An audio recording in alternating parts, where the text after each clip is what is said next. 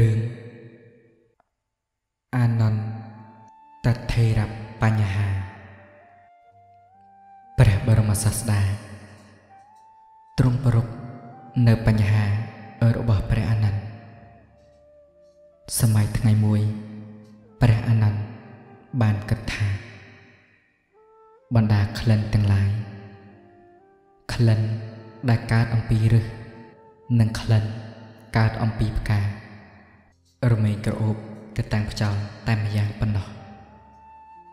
ក្រអូបច្រាស់ខ្យល់ពុំបានឡើយ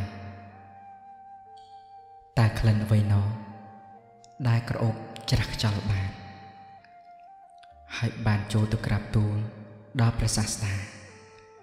ព្រះសាស្តាទ្រង់ត្រាស់នៅប្រគាថានេះថាអ្នកពភៈកន្ធោបដិវីតមេតិ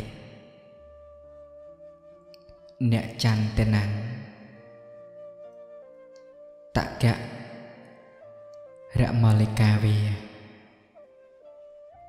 សតញ្ចកន្ធោបដិវីតមេតិសាពាតិសាសពុរិសោបវីយតិចន្ទនំ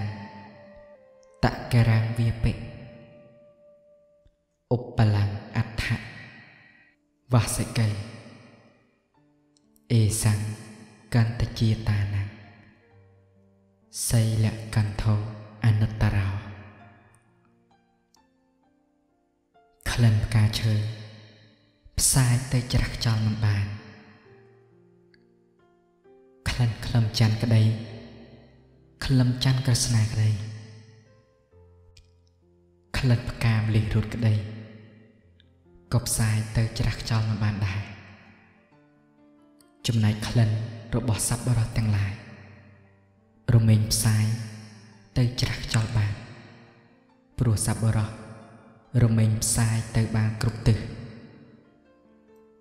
ក្លិននៃសិលជាគុណជាតិប្រសើរបំផុត